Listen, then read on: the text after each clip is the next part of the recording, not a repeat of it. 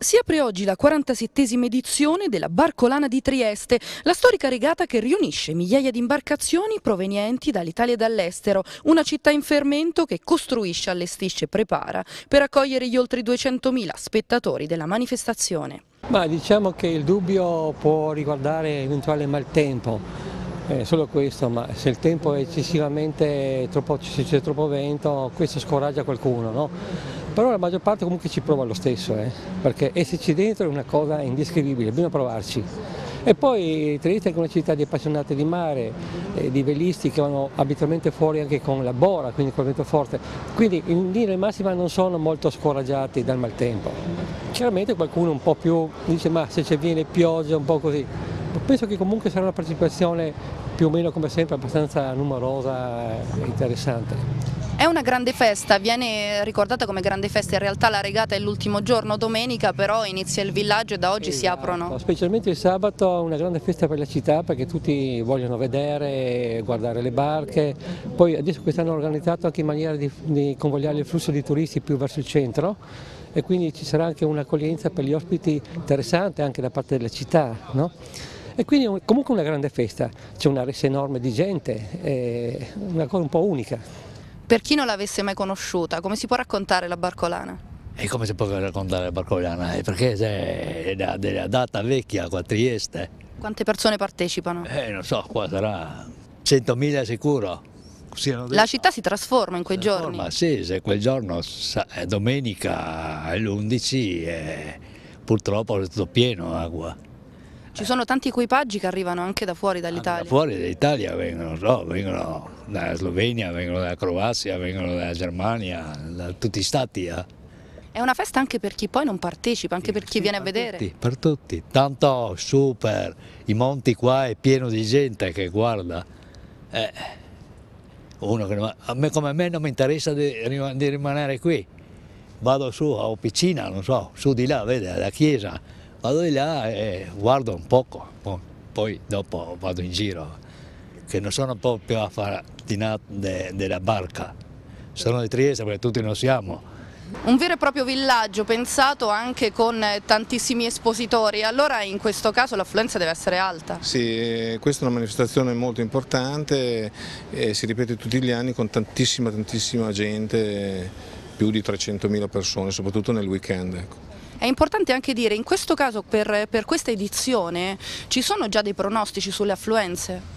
Ma, mh, mm, credo che la manifestazione stessa sia un sinonimo di garanzia, ecco, perché è sempre attratto tantissima gente, ecco. quindi speriamo anche per quest'anno, ecco, per questa edizione. Il tempo non incide in questo? Il tempo è importante, l'importante è, è, è, che non piova, anche se c'è Bora come a Trieste, la gente ci sarà, l'importante è la pioggia, speriamo di no.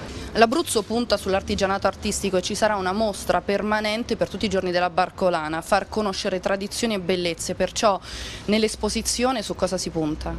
Ma si punta a far conoscere soprattutto la nostra regione, le eccellenze della nostra regione, perché eh, è una delle poche regioni cioè, meno conosciute in Italia e noi comunque abbiamo tantissimi bravi, bravissimi artigiani nella nostra regione che nessuno sa. Allora stiamo, stiamo cercando di muoverci per far conoscere le nostre eccellenze. Dell'artigianato cosa è presente nella mostra?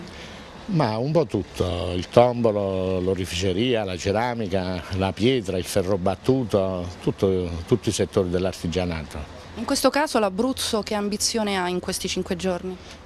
Eh, l'ambizione è di far conoscere le nostre eccellenze, poi esiste l'ente mostra dell'artigianato artistico abruzzese che si trova a Guardiagrele che è un'eccellenza a livello nazionale dove c'è un museo permanente che dura, è aperto tutto l'anno e poi nel mese di agosto, dal 1 al 20 agosto, diventa una mostra eh, nazionale e adesso anche internazionale dove vengono a esporre gli artigiani. Importante prendere contatti in questi giorni? Ma sicuramente, noi veniamo qui apposta per prendere i contatti e far venire eh, delle persone, degli operatori del settore nella nostra regione, perché questa è la cosa più importante, portare gente nella nostra regione.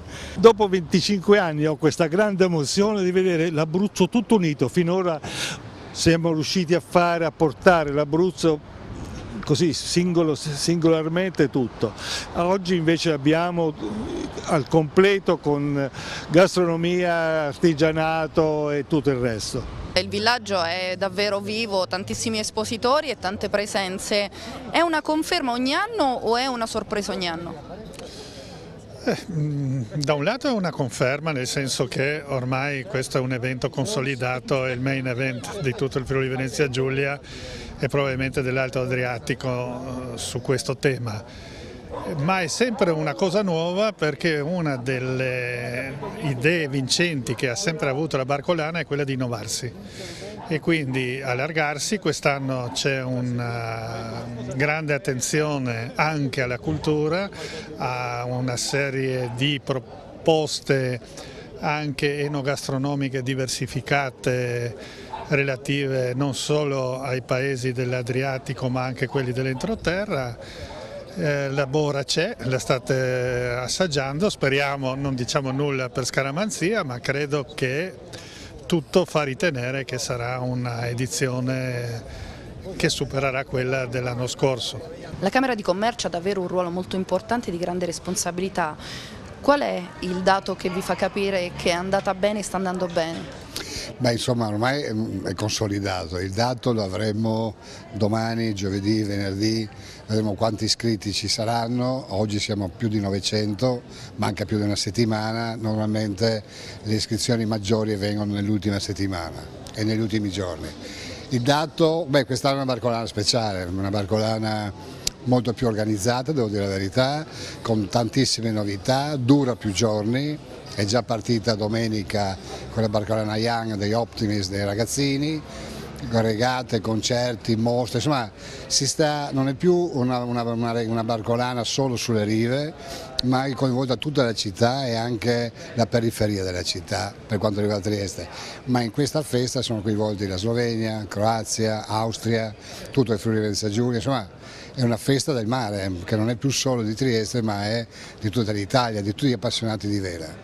E per cui i dati economici ogni anno sono incredibili, quest'anno si prevedono 700.000 visitatori, per cui un dato veramente da record. C'è stato l'ampliamento sul canale di Ponte Rosso grazie anche alla Regione Abruzzo che è presente in maniera massiccia.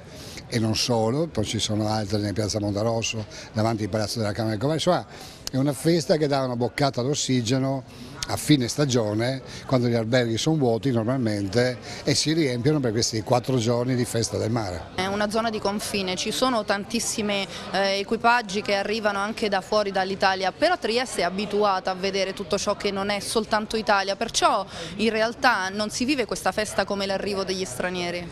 No, beh, Trieste è una città da sempre multietnica, multireligiosa, per cui ognuno di noi triestini siamo abituati a sentire più lingue, a parlare per strada, nei negozi, nei bar nei ristoranti, insomma, eh, noi stessi di Commercio abbiamo bilinguismo sloveno e italiano, per cui è una città abituata agli stranieri e di fatto gli stranieri poi stanno riscoprendo Trieste città turistica, cosa che non avevamo, se non in queste occasioni, invece tutto l'anno abbiamo un, turismo che si ferma una notte due notti e per cui siamo in crescita addirittura a due cifre, positivamente parlando, poi abbiamo anche le crociere che stanno, cioè, c'è tutto un movimento che eh, anche gli italiani hanno riscoperto Trieste, non solo gli stranieri. Per il sindaco di Trieste, questo che è un avvenimento di caratura europea, eh, per la sua 47esima edizione racconta che ci sono delle novità, ci sono ancora più servizi e spettacoli, ma come si vive? Ma direi si vive con grande entusiasmo da parte di tutti perché è sempre più una festa del rapporto tra questa città e il mare, quindi va oltre la dimensione pur bellissima e unica al mondo di una regata di 2000 barchi a vela e diventa un'occasione per declinare in tutti i modi possibili la storia, l'attualità e anche le prospettive del legame fra Trieste e il mare, quindi è la festa di Trieste a tutti gli effetti. A cosa si fa attenzione per un sindaco di questa manifestazione? Qual è la cosa più importante? Considerato che tutto può disporre il sindaco ma non del vento e delle condizioni meteorologiche, anche se probabilmente di questi tempi quando piove qualcuno dice che è colpa del sindaco, ma lo sforzo è quello evidentemente di un'organizzazione che consenta a tutti di vivere l'evento in modo festoso, in modo sereno, fornendo i servizi necessari a che una massa così imponente di persone e di eventi non comporti viceversa delle criticità. Ecco, diciamo che lo sforzo è fare una grande festa per tutti, il che implica un lavoro di centinaia e centinaia di persone, operatori e volontari che vanno ringraziati perché è l'impegno di queste persone che consente a, a, so, a, un numero che non saprei dirle oggi, 200, 300, 400 mila persone prossimo, in questo fine settimana, di vivere una grande festa. Qual è la cosa più importante nell'organizzazione? Perché questa davvero è una responsabilità. Trieste è conosciuta e riconosciuta per questa grandissima manifestazione. La caratura europea e allora per chi organizza e chi la inventa qual è la cosa da, che non deve mancare?